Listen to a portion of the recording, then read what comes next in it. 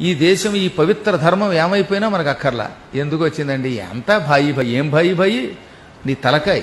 వాడు నీ తలకాయ తీసేస్తుంటే భాయి భాయియా. ఈ భాయి భాయి కబుర్లు చెప్పే అరవై ఏళ్ళు ఒక దరిద్ర పార్టీ ఈ దేశాన్ని సర్వనాశనం చేసింది. దానివల్లే కాశీ కానీ అయోధ్య కానీ ఇవన్నీ మనకి దక్కకుండా పోయాయి. ఇప్పుడు కదండి ఇన్నాళ్ళకి కదా అయోధ్యకు వెళ్ళి మనం సయోధ్యతో బతకగలుగుతున్నాం.